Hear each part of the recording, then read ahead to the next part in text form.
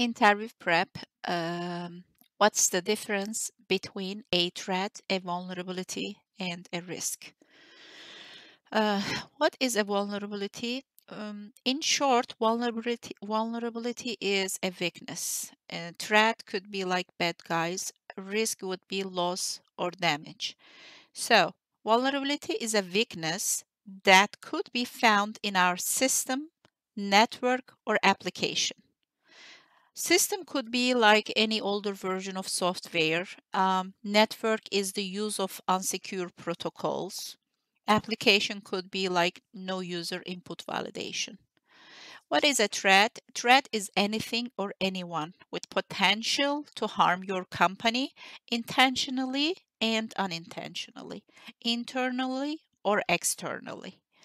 As a result of vulnerability, a threat causing a potential loss or damage to your company is a risk.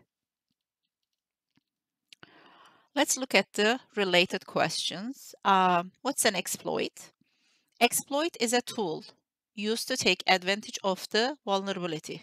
Example, Eternal Blue is an exploit that took advantage of SMB vulnerability. What's a vulnerability assessment? Vulnerability assessment is the process of defining, identifying, classifying, and prioritizing vulnerabilities in computer system applications and network infrastructures. Assessment team closely work with other infrastructure teams to help them remediate or patch vulnerabilities with the system they manage. So what's the difference between vulnerability and assess vulnerability assessment and pen testing? Vulnerability assessment is all about identifying the vulnerabilities and reporting them for patching and remediation. Pen testing is going one step ahead after identifying the vulnerabilities and exploiting the vulnerability, pen testing will help companies assess risk in a better way. What's the difference between TCP and UDP? Both TCP and UDP are the two main transport layer protocols. TCP stands for Transmission Control Protocol is responsible for the majority of the internet traffic. It's connection oriented, meaning that it establishes a connection between two systems before transferring any data, meaning it does the three way handshake. It could be slower, but TCP is definitely reliable and guarantees delivery. A good example to TCP would be emails and websites. UDP stands for User Datagram Protocol. On the other hand, is much more lightweight protocol. It's not connection oriented, meaning it doesn't use three-way handshake like TCP does. It sends the data blindly and doesn't really care if you receive it or not, which tells us, by the way, that UDP is fast but not a reliable protocol. A good example to UDP would be voice and videos. Number three, explain three-way handshake. Because TCP is connection oriented, it uses three-way handshake, technically known as SYN, SYNACK, ACK. Because TCP connection, uh, uh, because TCP is a connection-oriented protocol, systems must go through a handshaking process to create connection before transmitting the data. This process is known as a three-way handshake. In this process, first, client originating the connection sends a packet with SYN flag, indicating that it would like to open a connection. Second, the server that receives the request acknowledges with SYN-ACK flag. Third, the client receives a SYN-ACK packet and sends a final ACK to the server. That's all I can say about this conversation between the client and the server. What is ICMP? ICMP stands for Internet Control Message Protocol. It's the housekeeping protocol of the Internet. It works on the network layer of OSI model. ICMP sends error messages when you fail to communicate with another source. A good example to ICMP would be ping and traceroute commands or tracert commands. Both uses ICMP to operate. A little bit extra information about ICMP. Many network administrators feel that ICMP is a security risk. Therefore, it should be blocked at the firewall. However, disabling all ICMP could cause network issues because it's necessary for troubleshooting. Why do we need ICMP then? It's mainly used to determine whether or not data is reaching its intended destination in a timely manner. It's commonly used on the network devices such as routers. So, uh, type 3 and type 4 of ICMP traffic should be allowed at the firewall. Also, type 8 out and 0 in to send ping request and not allow ping attacks in. What is ping? Hmm. The ping command is a network tool used to determine whether a certain IP address or host is accessible. In other words, if you have connection to that network, you can use ping command, uh, command uh, to identify. Example, type either the URL or the IP address to the command line followed by ping and see if you have connection. For example, you write ping google.com to your command line and see if you have connection to Google.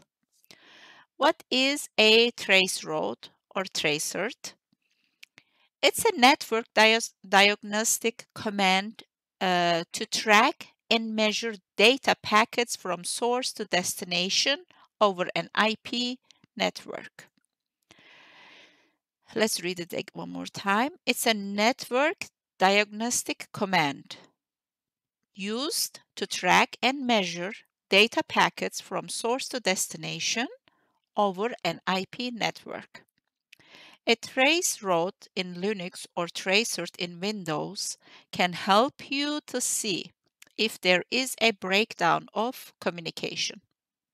It shows what routers you touch as you move along to your final destination. If there is somewhere you cannot connect, you can see where it happened. What is SSL and TLS? SSL stands for Secure Socket Layer. TLS stands for Transport Layer Security. They are both cryptographic protocols providing secure communication over the network. TLS is an improved version of SSL. They both use encryption to protect the data while transferring. At the start of a TLS or SSL connection, a handshake is done between the client and the server to establish a trust and then negotiate what secret keys should be used to encrypt and decrypt the conversation. So we should enable the new version of TLS 1.2 or 1.3 and disable the rest to secure our connection. What type of encryption method is used for an SSL handshake?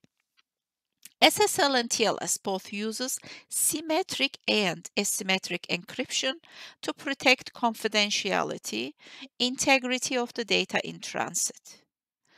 Asymmetric encryption is used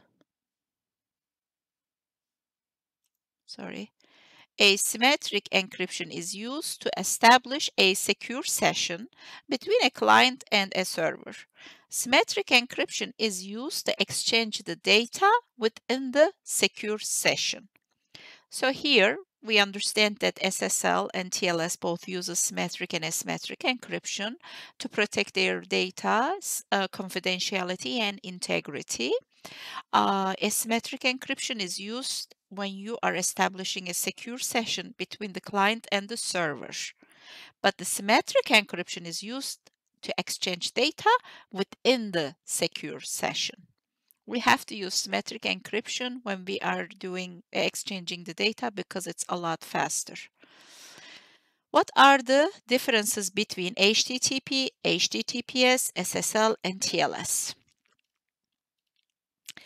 HTTP Hypertext Transfer Protocol is used by the browsers and web servers to communicate and exchange information when we exchange information uh, when we, when the exchange of information is encrypted with SSL or TLS, it's called HTTPS, standing for secure. SSL stands for Secure Socket Layer, a cryptographic protocol providing secure communication. TLS, Transport Layer Security, is the newer version of SSL, or we can say the continuation of SSL. A little bit extra information. Uh, HTTP stands for Hypertext Transfer Protocol. It's used for viewing web pages on the internet. In standard HTTP, all the information is sent in clear text. This means that all the information that is exchanged between your computer and the web server is vulnerable to anybody who wants, such as the hackers. Normally, this wouldn't be a problem if you're not sharing any sensitive data, such as passwords and credit card information. This is why HTTPS was developed to secure your sensitive information. HTTPS stands for Secure Hypertext Transfer Protocol. HTTPS encrypts the data that is being transferred over the internet between computers and servers. HTTPS protects the data by using one of the two protocols, SSL or TLS. SSL or Secure Socket Layer is used to ensure security on the internet. It uses public key encryption to secure the data. How does SSL work? Hmm.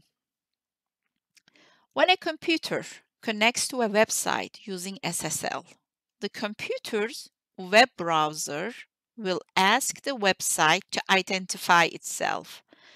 Then the web server will send the computer a copy of its SSL certificate to authenticate the identity of a website. Basically, it's used to let your computer know that the website you are using or visiting is trustworthy. Then the computer browser will check to make sure that it trusts the certificate. If it does, it will send a message to the web server.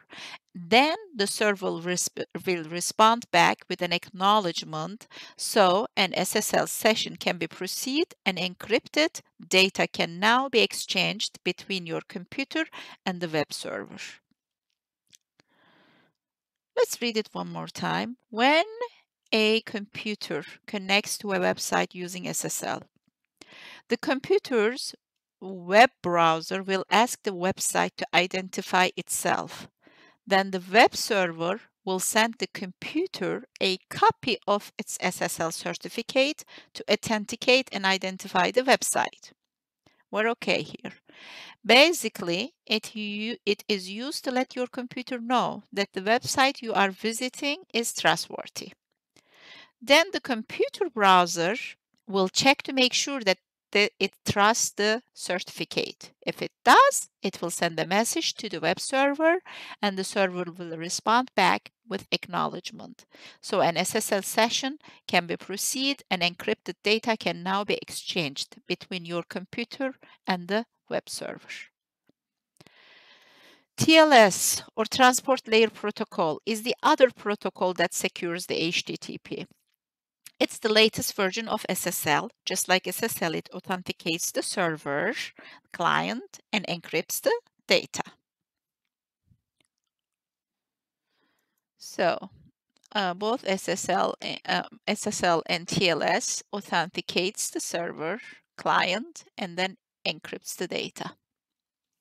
A lot of websites are now using HTTPS by default, regardless if the sensitive data is going to be exchanged or not. Google is flagging websites that are not secure if they are not protected with SSL. So if they don't have the certificate, SSL certificate, uh, Google is flagging those websites out. What are the HTTP methods? So HTTP methods. HTTP methods consist of some verbs and nouns to define a set of requests such as get, put, post, patch, delete, and etc. What do you know about the HTTP status codes? Status code indicates that a specific HTTP request has been successfully complicated. Some of the common response status codes are 404 not known, 200 successful request, 202 request accepted, 301 moved permanently, 302 found, 351 unavailable for legal reasons, and 403 is forbidden. All right, so anything from 100 to 199 or all the 100s are informational responses. All the 200s are successful responses. All the 300s are redirection messages. All the 400s are client error responses. All the 500s are server error responses. Explain the OS, OSI model. Um, OSI stands for Open System Interconnection. It helps us to understand what is going on in the networking system. OSI model consists of seven layers, and each layer has a set of responsibilities. For example, Layer 1 is the physical layer. This layer includes the cable and the wireless connections among the devices. Examples are like Ethernet, fiber optics, Wi-Fi, and etc. Layer 2 is the data link layer. This layer allows transfer of data in chunks called frames between two nodes on the network and handles error connections from the physical layer. Example, switches. Two sublayers exist here, MAC Media Access Control Layer and LLC Logical Link Layer. Most switches operates at this uh, layer. Layer 3 is the network layer. This is the routing layer at which our packets are forwarded from their source to their destinations. A good example to network layer uh, is the router are the routers, IP addresses, ICMP, IPsec. Layer 4, transport layer, pro, uh, represents the protocol uh, for sending and receiving packets across a network via ports. A good example to uh, transport layer would be TCP, UDP, ICMP. Layer 5 is the session layer. This layer is used when opening, closing, and controlling the sessions between application processes. This layer handles setting up sessions between two devices and coordinating the rules for communications, such as how long to wait for a response and how to determine to terminate the session. Layer 6 presentation layers data encryption represents formatting and delivering the data in presentable format for application. At this layer, data is prepared for presentation between the layers. For example, data that is encrypted across the network would be decrypted at this layer for presentation to an application at destination device. Example, JPEG, SSL, HTML, doc, MP3, AVI, and etc. Layer 7, application layer. User interaction. This is the layer what the users see. It's the closest to the end user of all layers. Example, Google Chrome, Firefox, HTTP, DNS, SMTP, and etc. Number 8, TCP IP model. TCP IP stands for Transmission Control Internet Protocol. Very similar to OSI model, TCP IP is a set of standardized rules that allows computers to communicate on network such as the internet. It helps you to determine if a specific computer should be connected to the network and how you can transfer data between them. It helps you to create virtual network when multiple computer networks are connected together. TCP IP model consists of the first one is the application, application, presentation, and session layers of OSI model to allow access to network resources.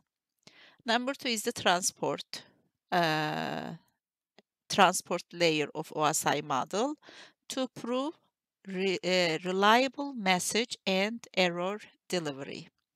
Number three is the internet network layer of the OSI model to move packets from source to destination. Number four, network interface, data link and physical layer of the OSI model responsible for transmission between two devices on the same network. Number nine, what is the CIA triad or the information security? It stands for confidentiality, integrity, and availability. CII is a model that is designed to guide policies for information security. Confidentiality is the level of secrecy that states the information should be accessible and readable for only authorized personnel. So encryption is very important here. Integrity is like hashing. It ensures that data is not corrupted or modified by unauthorized personnel. Availability states that the data should be available to users whenever needed. What is IP addressing and na name the IP address classes? Uh, Internet Protocol Address IP is a unique number that identifies a computer or another device. It's fundamental, it's the fundamental protocol for communications on the internet. It specifies the way information is transferred and received by the network devices. IP addresses are uniquely identify the source and the destination of data transmitted. We have IP4 version and IP6 version available. IP4 addresses are 32 bits long. IP version 6, address, 6 addresses are 128 bits long. There are five classes available with the IP4 uh, addresses A, B, C, D, and E. Uh,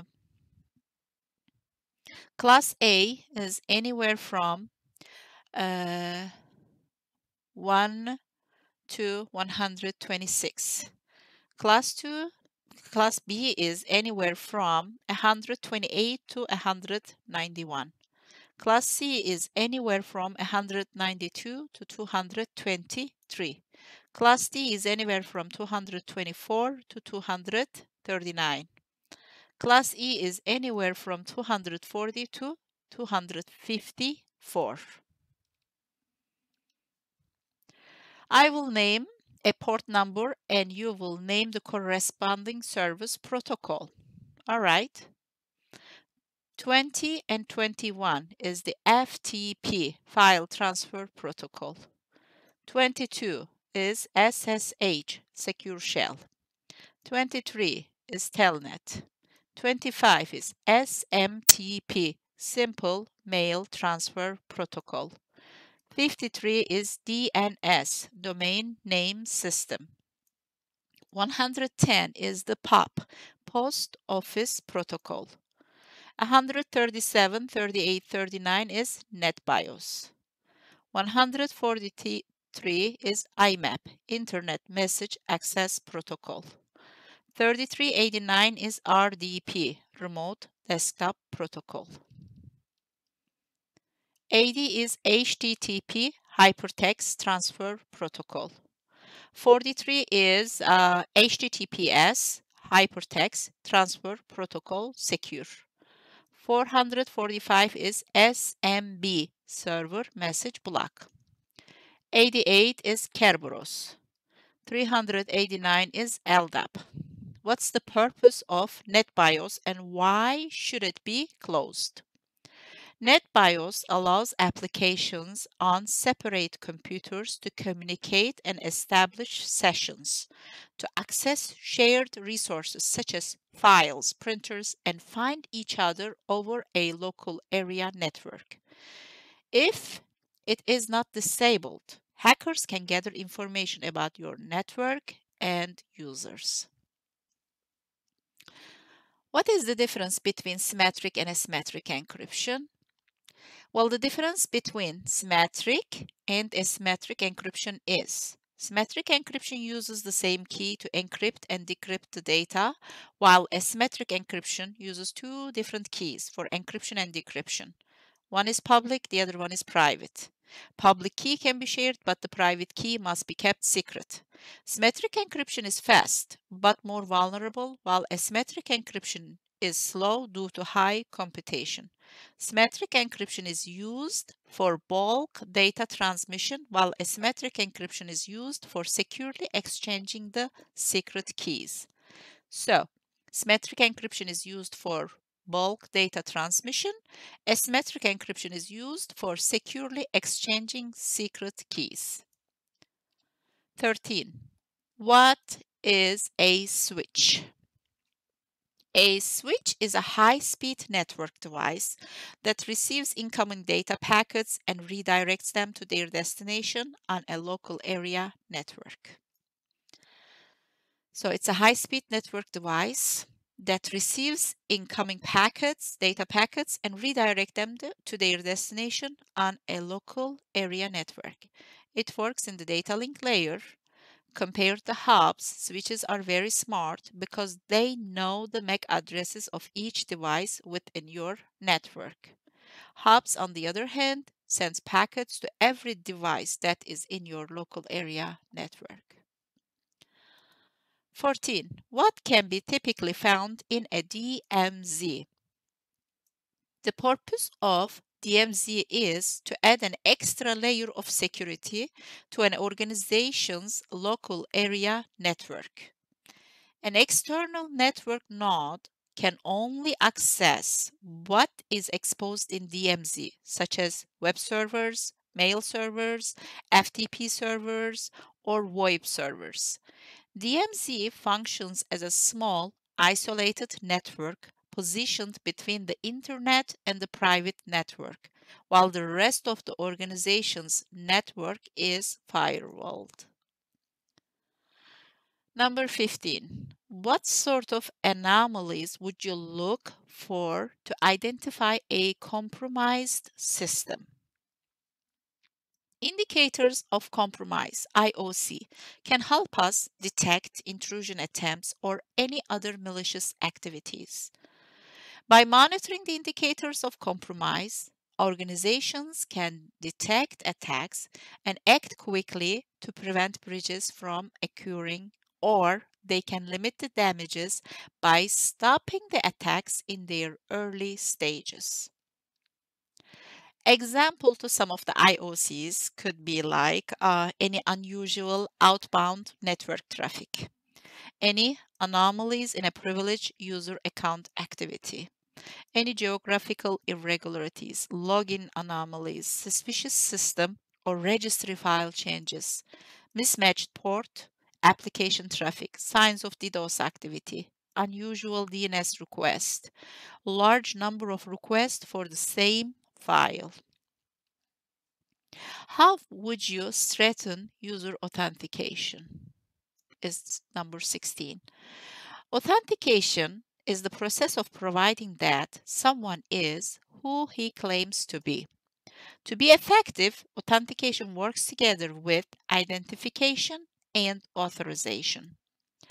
Identification, such as username, determines whether the user is known to the system.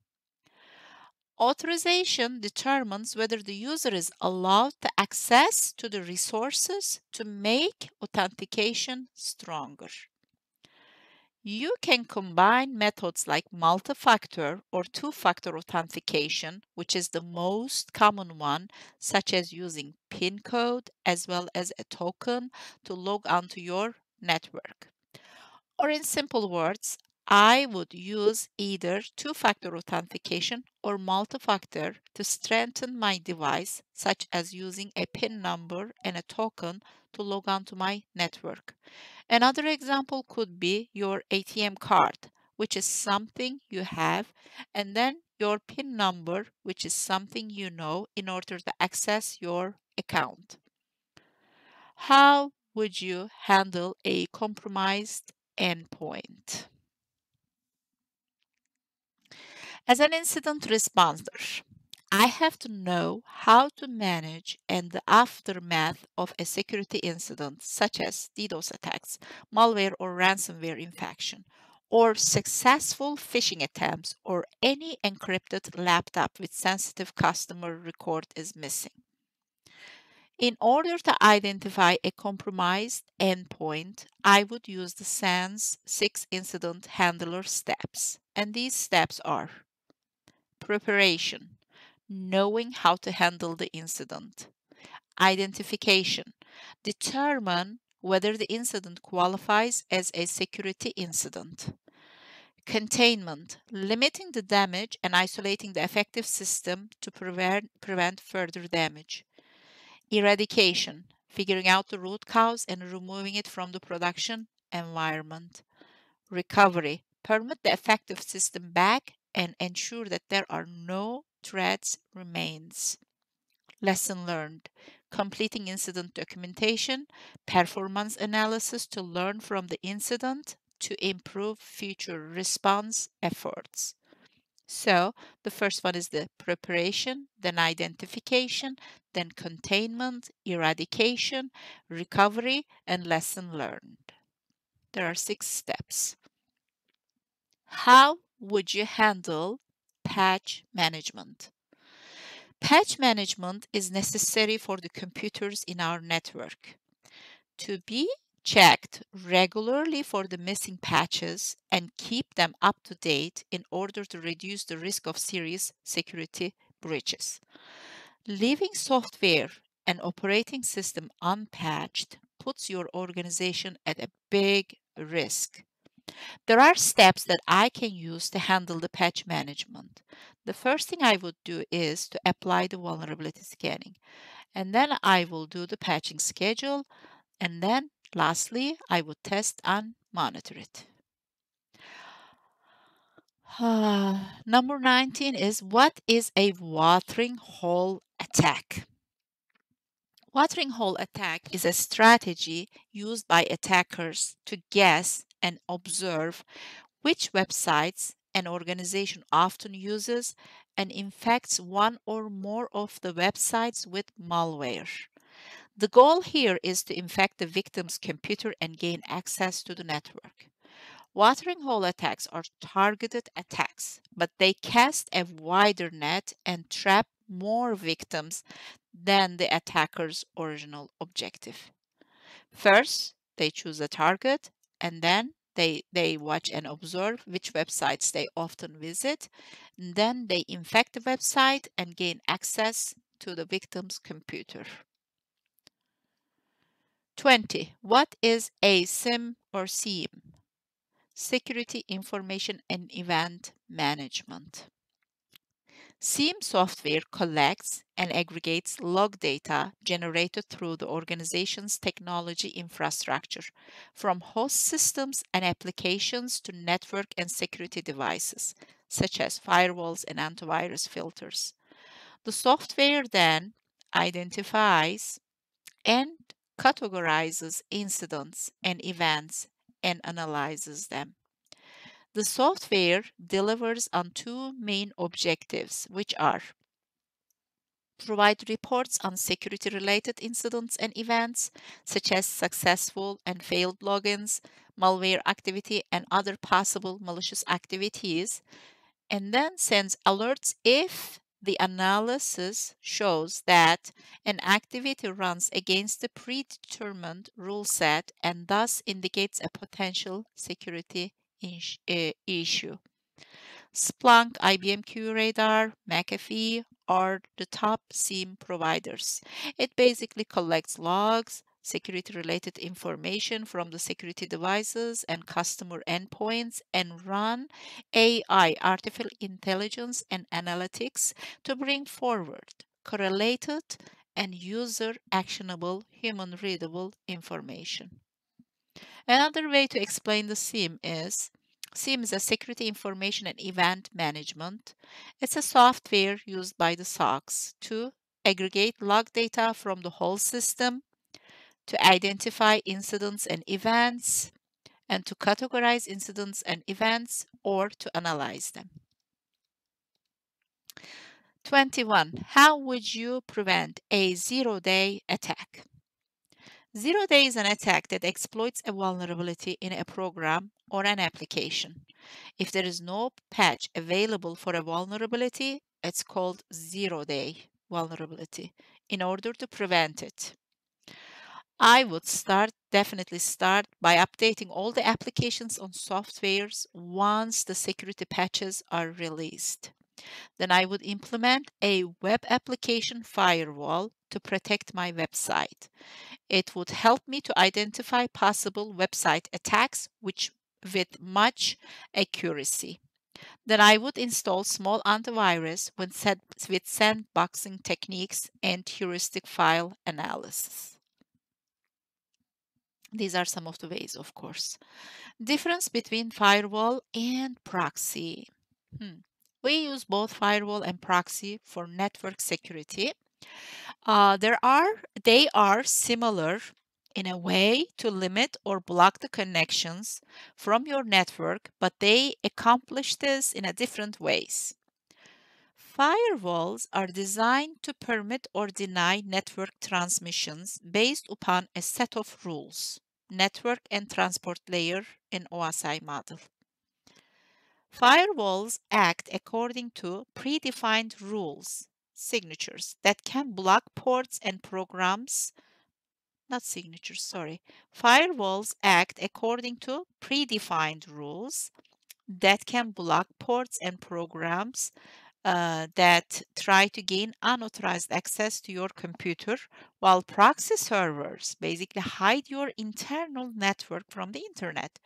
It works as a firewall in a sense that it blocks your network from being exposed to the internet by redirecting web requests when necessary. Firewalls and proxy servers both can help you block viruses and other forms of malware from infecting your computers. A firewall can block ports commonly used by malicious viruses and worms. You can also use firewalls to specify which ports can be open. Common ports that are usually open are HTTP, HTTPS, SMTP, POP3, you may wish to leave certain other ports open as well while closing the other ports. Proxy servers, on the other hand, create a barrier by being the middleman that sits between your network and the internet. Users outside your network can only see your proxy server, while those inside the network can access the internet only by passing through the proxy.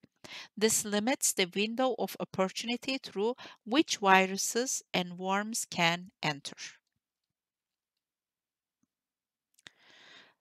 23. Can you describe a salted hash?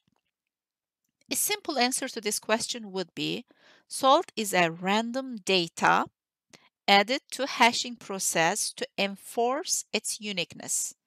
It prevents damage that a rainbow or a table or dictionary attack could do. So salted hash is um, salt is a random data added to hashing process to enforce its uniqueness. It prevents the damage that a rainbow table, uh, which they use the hashes, I believe, or the dictionary attack could do. According to OWASP guidelines, a salt is a fixed length, cryptographically strong random value that is added to the input of a hash to create unique hashes for every input regardless of the input not being unique. What happens when you type google.com into your browser?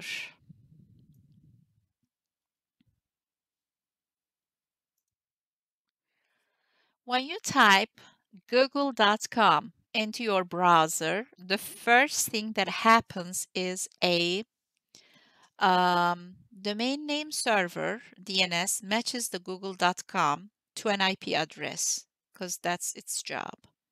Then the browser sends an HTTP request to the server and the server sends an HTTP response. The browser begins rendering the HTML on the web page while also requesting any additional resources such as CSS, JavaScript, images, and etc. Once the page is loaded, the browser sends further sync requests as needed. I didn't like this answer. This is a much better answer. When you type google.com into your browser, the first thing that happens is a first thing is you enter a URL into the web browser. The browser looks up the IP addresses for the domain name via DNS. The browser sends an HTTP re request to the server. The server sends back HTTP response. Then the browser begins rendering the HTML. The browser sends requests for additional objects embedded in HTML such as images, CSS, JavaScript, and etc. and repeat the steps three to five times. Once the page is loaded, the browser sends further async request as needed. When would you use DNS? Uh, when would DNS use TCP instead of UDP? DNS uh, domain name system would use TCP when the size of the query is greater than 512 byte limit due to DNSSEC and IPv6's increased response sizes. DNS domain name system resolves the IP addresses to the uh, uh, names uh, or the URLs and it uses port number 53. 26. What's the difference between uh, UDP and TCP? I think we already answered this, but I can read it really quick.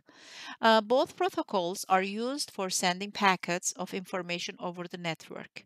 TCP stands for Transmission Control Protocol and is more commonly used. It uh, numbers uh, the packets it sends to guarantee that the recipient receives them. Uh, UDP stands for User Datagram Protocol. While it operates similarly to TCP, it does not use TCP's error checking abilities, which speeds up the process but makes it less reliable. What is a trace route or tracert? Oh, I remember reading this one too. Uh, it's a network diagnostic command to track and measure the data packets from their source to, source to their destination over an IP network. A trace route in Linux or tracert in Windows can help you to see if there is a breakdown of communication. It shows what routers you touch as you move along to your final destination and if there is somewhere you cannot connect, you see where, where it happened. What is DLP? Data loss prevention is a set of tools and processes that is designed to make sure that the sensitive or confidential data on your network is not lost, stolen, or misused by unauthorized users such as hackers or compromised malicious insiders. By utilizing both DLP software and techniques, security professionals can help stop data loss on, the, on their network, preventing coastal security events from occurring before they start. Email, USB block are some of the examples, I guess. What is a SOC, Security Operations Center? A Security Operations Center is an organizational structure that continuously monitors and analyzes the security procedures of an organization. So it's an organizational structure that continuously monitors and analyzes the security procedures of an organization.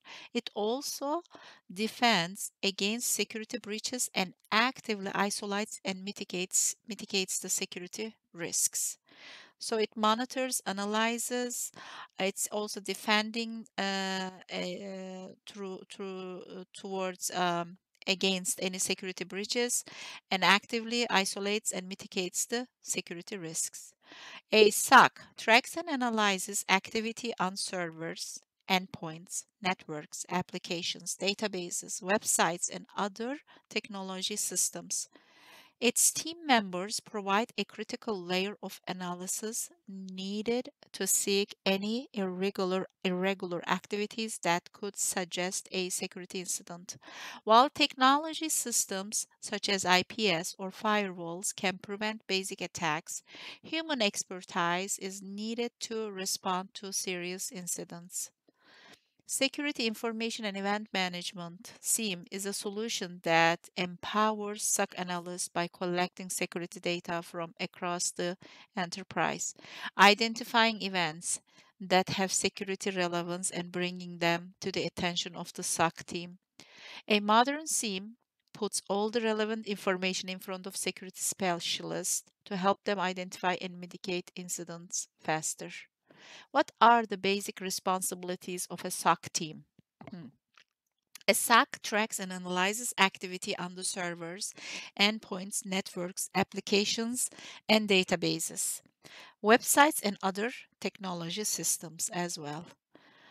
Uh, their responsibilities are to implement and manage security tools, uh, investigate suspicious activities, contain and prevent them, reduce the downtime and ensure uh, business continuity, uh, plan security, stra uh, security strategies, audit and compliance support.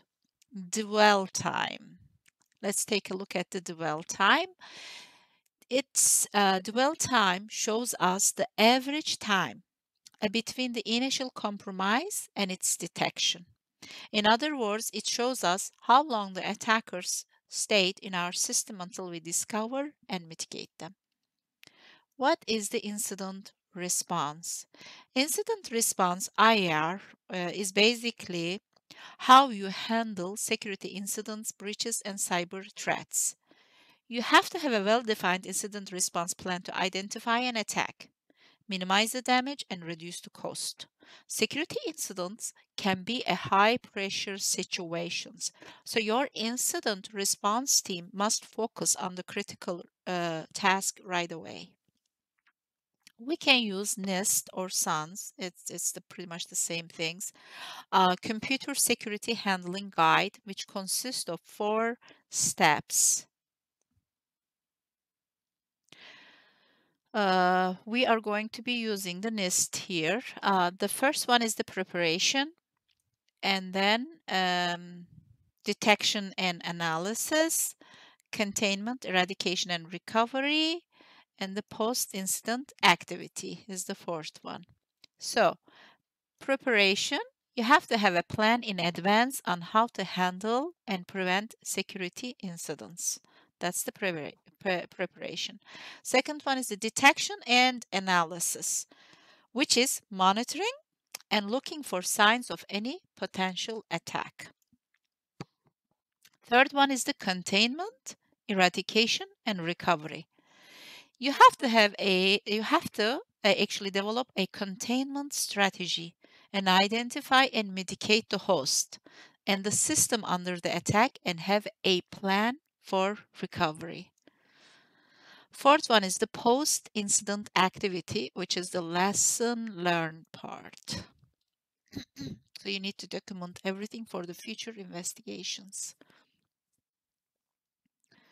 Uh, 33. What is the cyber kill chain or the incident's life cycle?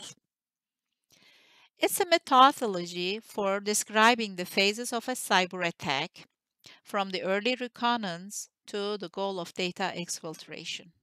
So it's Lockheed Martin's, um, uh, uh, you know, methodology uh, for describing the phases of a cyber attack from the very early reconnaissance uh, to the goal of data exfiltration. In order to have a successful attack, the hackers must go through the cyber kill chain steps, and there are seven stages of a successful attack. The first one is the reconnaissance, information gathering stage to identify the target's vulnerabilities. It could be done either passive or active. Uh, weaponization attackers creates a malware weapon such as virus or a worm for the vulnerable target. Number three is the delivery delivering the weapon to the target either through email, website, or USB. Exploitation is the fourth one, and in this stage, malware code triggers and takes action to exploit the vulnerability. Installation. Attackers can now install the malware code and create a backdoor. And once they create a backdoor, then they can do command and control. So they can control and manipulate the target. Number seven is actions on objectives. Attackers, they're achieving their goals, such as either for data encryption, extraction, or a ransomware.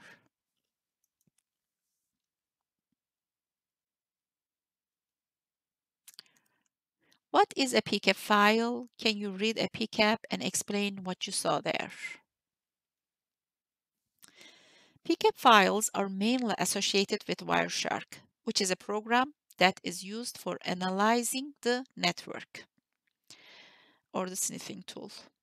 PCAP files are data files created using this program and they contain the packet data of a network.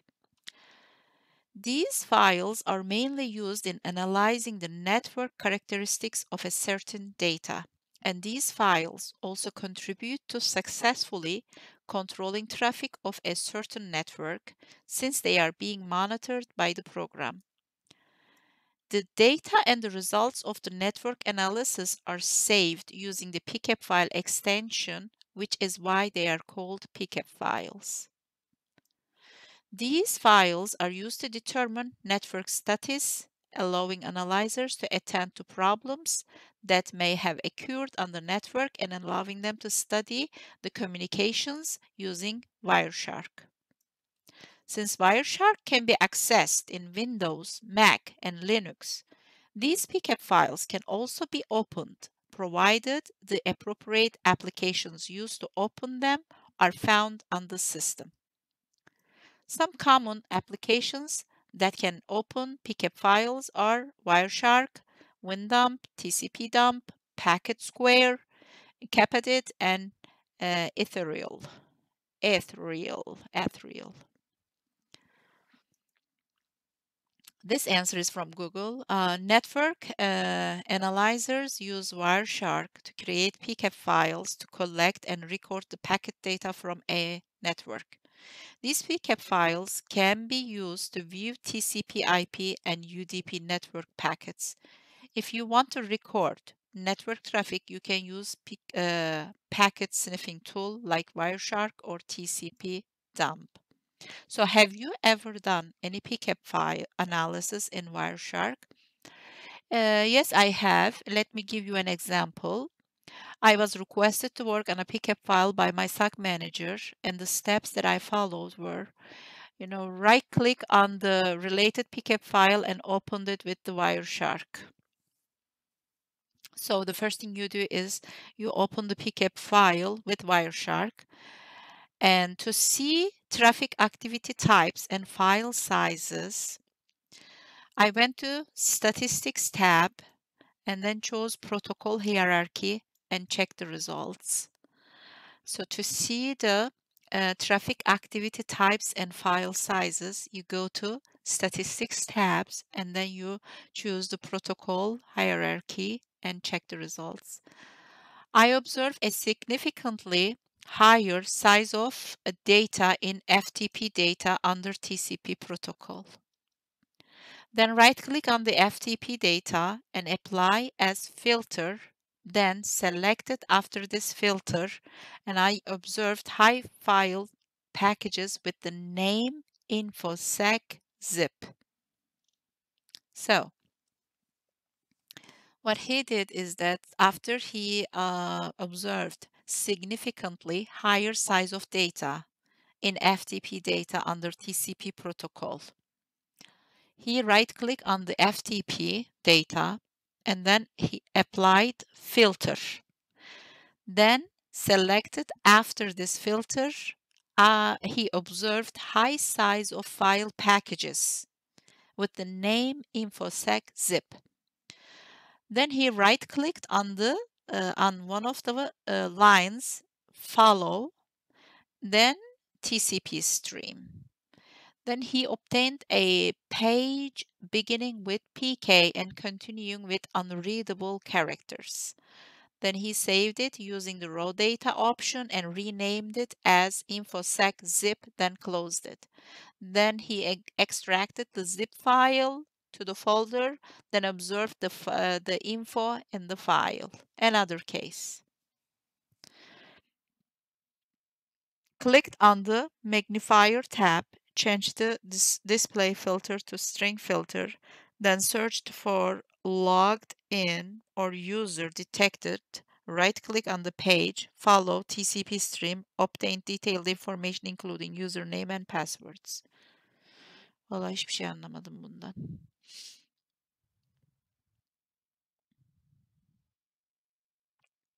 Tell me about pen testing.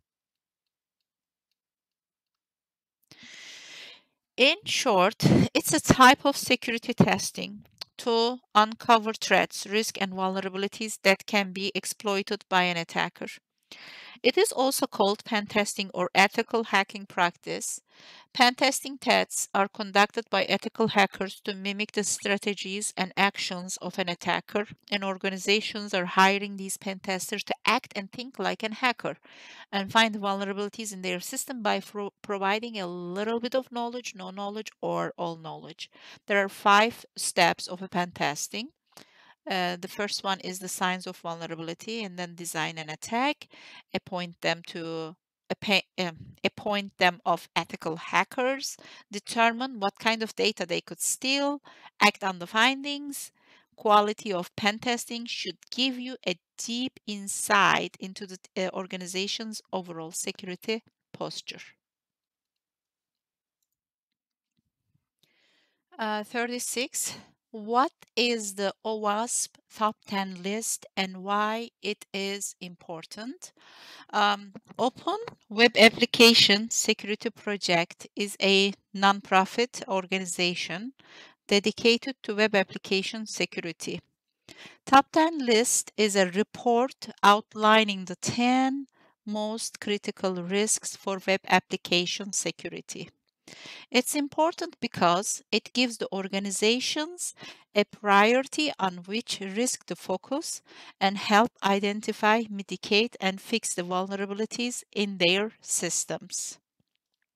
The 2021 OWASP Top 10 list are uh, broken access control, uh, cryptographic failures, injection, insecure design, um, security misconfigurations, vulnerability, outdated components, identification and authentication failures, uh, software and data integrity failures, security logging and monitoring failures, server-side request forgery, SSRF. So knowing at least a couple of them would definitely helpful. Um, broken access control is ac- access control policy enforces that the users cannot act outside of their intended permissions. Failures typically led to unauthorized information disclosure, modification, or distractions.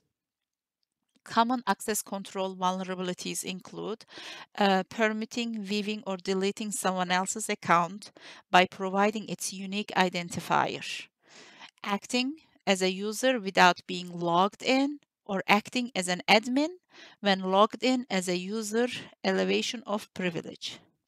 Bypassing access control check, checks by modifying the URL. Number two is the crypto, cryptographic failures, uh, previously known as sensitive data exposure. Uh, it occurs if the data is transmitted in a clear text by using protocols like HTTP, SMTP, or if any old or weak cryptographic algorithm or protocols are used. Injection, uh, it occurs if the user supplied data is not validated, filtered, or sanitized by the application, one of the common injections uh, injection is SQL. In order to prevent SQL injection, having an input validation, uh, proper error handling, and WAF is very important. What's the most uh, secure way of protecting the data? Depending on the sensitivity of the data, we may want to use different ways to protect our data. Encryption is the best way to provide, provide protect uh, privacy and confidentiality of your data. And there are two types of encryption methods. One is asymmetric, the other one is symmetric encryption. Symmetric encryption uses only one key for encryption and decryption. It's faster because there is a little calculation involved, but asymmetric encryption uses two different keys. One public, the other one is private. Public key can be shared with anybody else, but the private key must be kept secret. It's a little bit slower comparing to symmetric encryption because there is more calculation involved. Uh, the process of data encryption um, data or plain text is encrypted with an encryption algorithm, an encryption key. The process results in ciphertext, which only can be viewed in its original form if the decrypted if, if it is decrypted with the correct key. So the plain uh, text, once you encrypt the plain uh, text, it's it's turning into it results with cipher ciphertext, and you can only decrypt the ciphertext if you have the correct key. Symmetric key ciphers uses the same key for encrypting and decrypting the message or file. Symmetric key encryption is much faster than asymmetric encryption. The sender must exchange the encryption key with the recipient before he can decrypt it.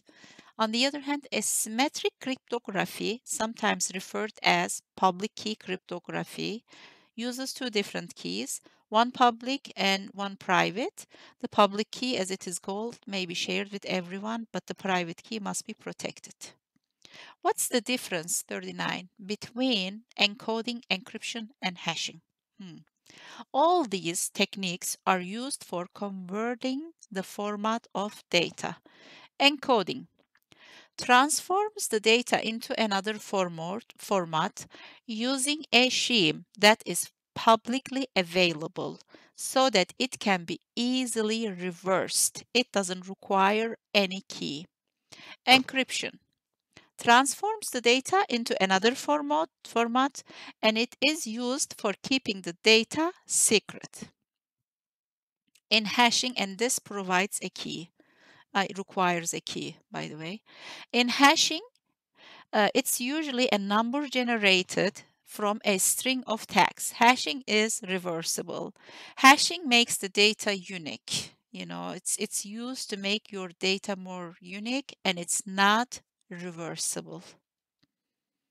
What is a DDoS attack? DDoS is short for Distributed Denial of Service. DDoS is a type of DOS attack where the multiple compromised systems, often infected with a Trojan, are used to target a single system causing denial of service. DOS attacks are coming from only one source, while the DDoS coming from many compromised systems. In other words, DDoS is flooding the target's network or service with constant traffic, which overwhelms the system, causing denial of service. DDoS is a cyber attack on a specific server or network. It's an attack from the multiple sources all at once. Uh, you know, it's or it, another way to explain is multiple compromised computer systems uh, that are used as sources like bots, botnets to target the server, service, or network by overwhelming the target with traffic. To prevent DDoS, we can use web application firewall, load balancers, Cloudflare platform. How do routers work? To put it simply, a router connects devices within a network by forwarding the data packets between them. This data can be sent between the devices or from devices to the internet. The router does this by assigning a local IP to each of the devices on the network. Or router connects the devices within a network and connect the devices to the internet. So we are using routers to connect the devices in our local area network and also to the internet. It what it does is that it forwards packets of data, acts as a dispatcher, choosing the best route for information to travel. 42. Explain how to make a SQL query to search a database. SQL, structured query language, is used to communicate with database. It is the standard language for database management system. SQL is used to perform tasks such as updating data on a database, retrieve the data from a database, example, some of the examples uh, that we can use when you are writing a SQL query is where, get, from, or, not, and. Describe DNS. DNS, domain name system, are the internet's phone book. It basically translates domain names to IP addresses for computers to access websites based on IP addresses. DNS uses port number 53. What protocol DNS use? DNS uses UDP, User Datagram Protocol, port number 53 to serve the request. It will use TCP if the data is over 512 byte. So, so the, in short, uh, DNS uses both TCP and UDP depending on the uh, data uh, byte. If it's over 512 byte limit, it uses TCP, uh, but if it's uh, less than that, it's using UDP. How would you defend against a cross-site scripting XSS attack? This is like also an HTML code scripting. Cross-site scriptings are done, um, cross-site scripting is done by injecting client-side scripts into a web application and redirect them to malicious websites. In order to protect the company from cross-site scripting, I would definitely go ahead and use input validation, a web application firewall, error handling, and web vulnerability scanning. The same things that uh, we use also to prevent SQL injections or the input validation, web application firewall, and error handling.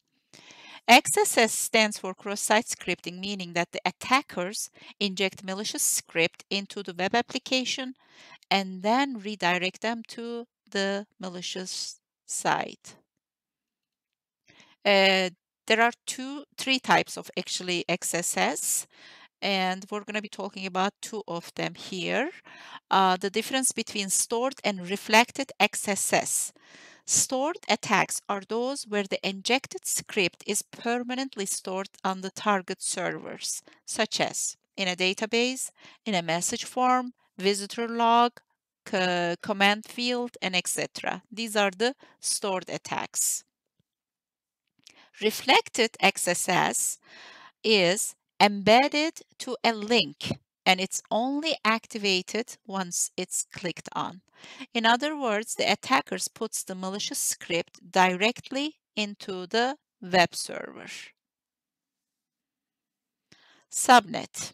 A subnet is a logical portion, par, uh, partition of an IP network into multiple smaller network segments. It's typically used to subdivide large networks into smaller or more efficient sub uh, networks. You typic you i mean you simply divide large networks into small smaller more more efficient subnetworks each organization's network can be composed of many smaller networks or subnets. Each subnet allows its connected devices to communicate with each other and routers are used to communicate between the subnets uh, 48. Uh, 32 and 24. How many hosts? Hmm. IPv4 addresses includes a total of 32 bits. Okay, 24 bits used for subnet mask, and 8 bits are used uh, per host. And using the formula 2, mi 2n minus 2, uh, you have 254 unusable IP addresses from 1 through 254. If somebody asks you a question with an IP number with 255, that's not correct. You cannot have an IP address with 255 because it's up until 254. TCP IP header. TCP header is the first 24 bytes of a TCP segment that helps diagnose communication issues between the two endpoints. So eh, a TCP header is the first 24 bytes of a TCP segment that help diagnose communication issues between the two endpoints. TCP flags, they help us understand the state of communication between the endpoints TCP flags. Some of the common TCP flags are SYN, ACK, FIN, URGE, PUSH, RESET, and TCP flags are uh, you know helping us to understand the state of communication. We already said that. TCP flags are used to indicate a particular state during TCP conversation TCP flags can be used for troubleshooting purposes or control how a particular con uh, connection is handled. Each of uh, them has its own significance and corresponds to one bit information. They initiate connections to carry data, tear down connections. The most commonly used TCP flags are SYN, ACK, uh, RST is the reset, FIN is the finish, URGE is the urgent, uh, PSH is the push. Urgent flag indicates that the urgent pointer uh, file, uh, file, file urgent pointer uh, filed is field uh, olması lazım bunun is significant. the urgent pointer indicates that the incoming data is urgent and that a TCP segment with the urge flag set is proceed, uh, processed immediately without consideration of having to wait on a previously previously sent TCP segment. It indicates that it's urgent, it can't wait, uh, you know. So act fast. ACK acknowledgement flag indicates that the acknowledgement number is significant. It is used to acknowledge the receipt of a TCP segment. Push flag asking TCP to pass the data to the application promptly. It's asking TCP to pass the data to the application. Reset flag is used to reset the connection. Another device, such as a firewall, might send it uh, to tier a TCP connection. This flag is also used when the data is sent to a host and there is no service on the receiving end to answer.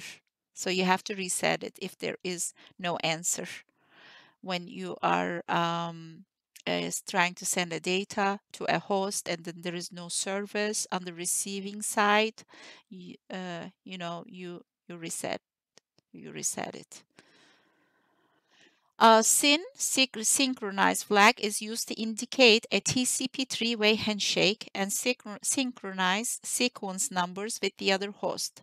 The sequence number should be set randomly during TCP connection establishment. Fin is sender has no more data to send, so it's finished. Finish flag.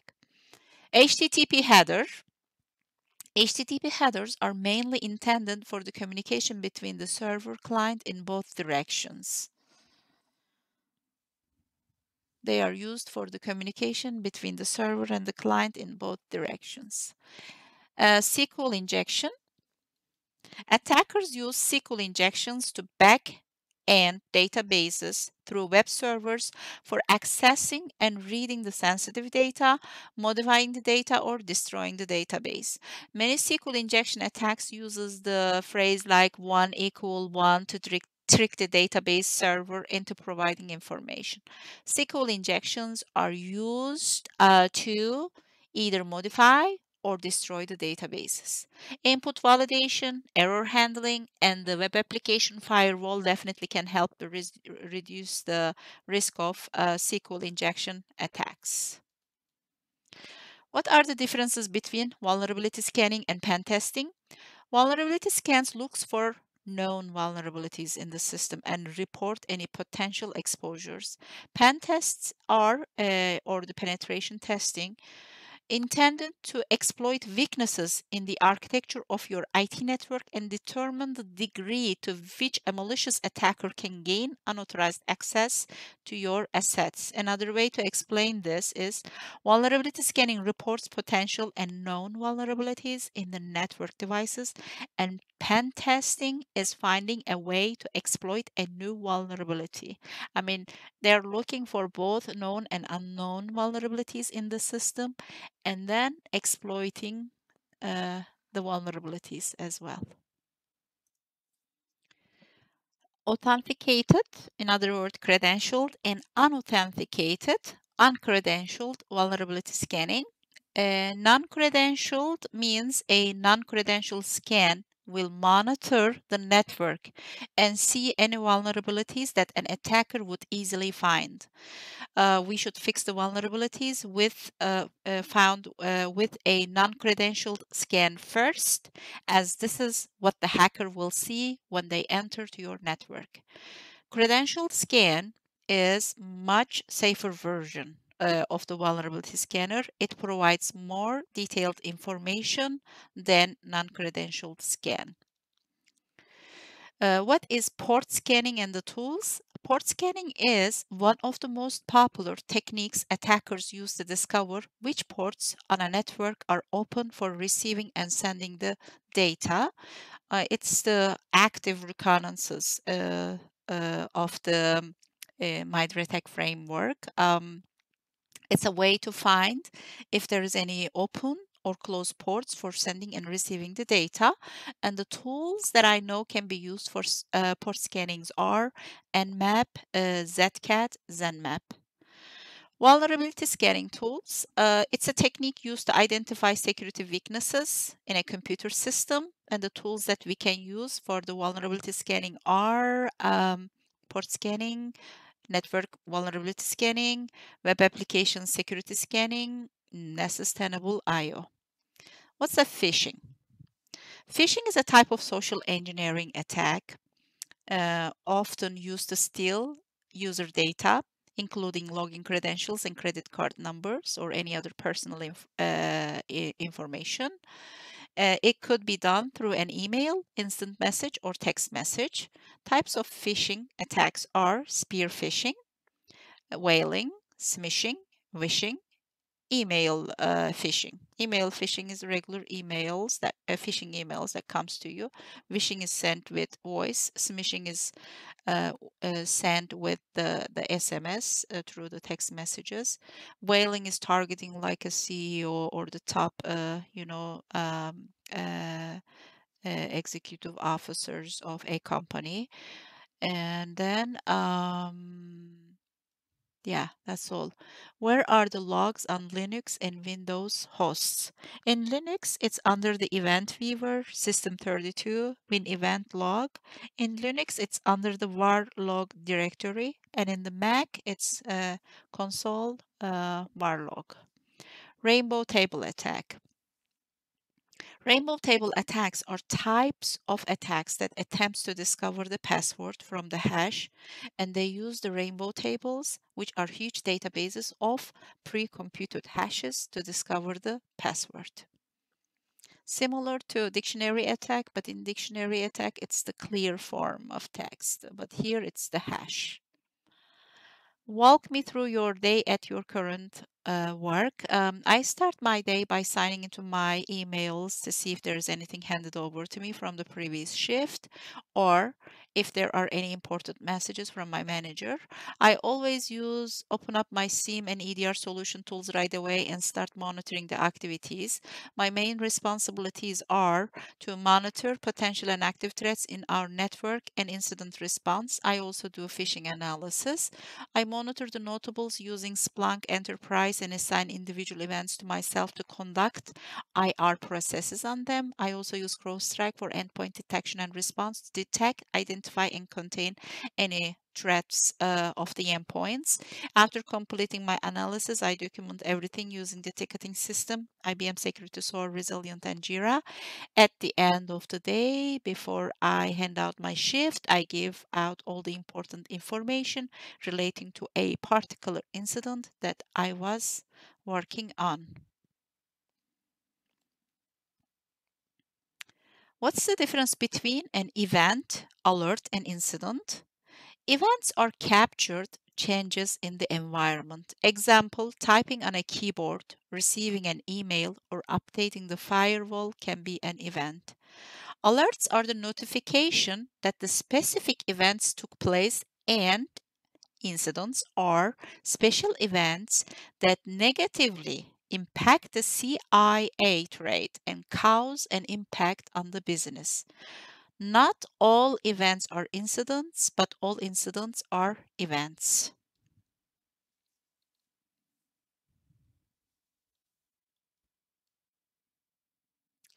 Uh, what's the difference between on-premise and in in the cloud.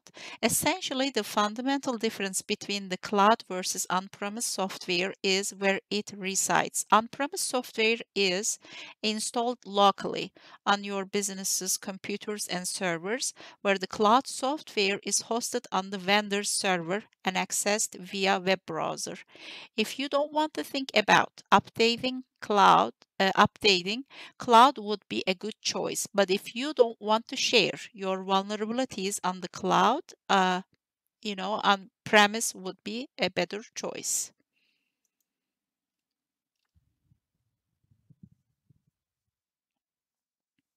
What are the most common types of alerts that you have dealt with uh, within your experience.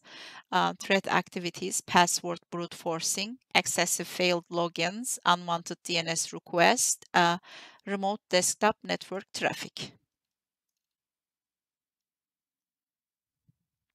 Explain direction flow on network and security devices. We collect all the logs uh, of the events in our SIEM tools. We can monitor them through the events and flows. Event flow, uh, event flow is a, is a summarized way of monitoring network connections. Event flow is a summarized way uh, of monitoring the network connections. Describe how you solve a technical solution where you did not previously know the solution. I would search the Google first and then get consultations from someone else about me.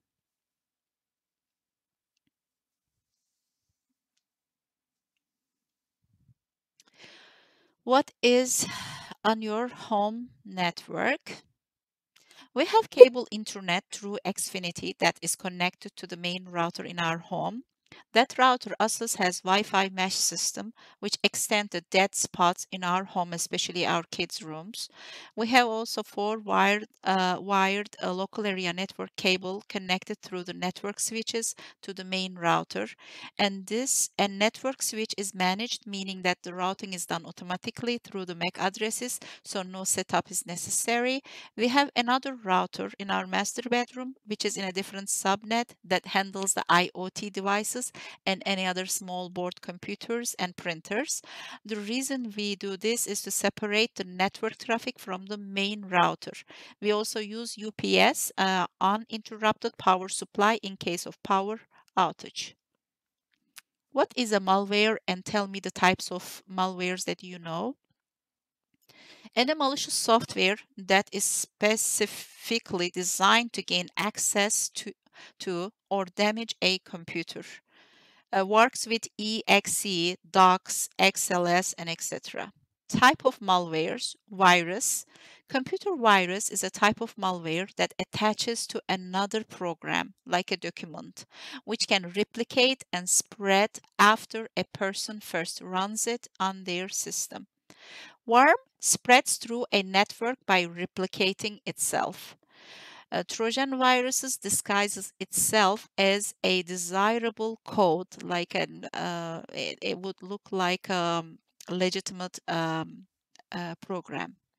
Adware serves unwanted advertisements. Spyware collects users' activity data without their knowledge. Ransomware disables victims' access to data until the ransom is paid. Fileless malware makes changes to files that are native to operating system.